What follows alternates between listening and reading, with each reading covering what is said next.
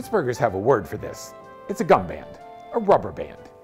But we Pittsburghers love little things like this that make our area and our city really unusual and captivating. Well, here at WQED, we're working on a new podcast called Gumbands that will celebrate people, places, products, and those particular little things that make this whole area memorable. It's coming soon. It'll be at wqed.org slash gumbands and wherever you get your podcasts.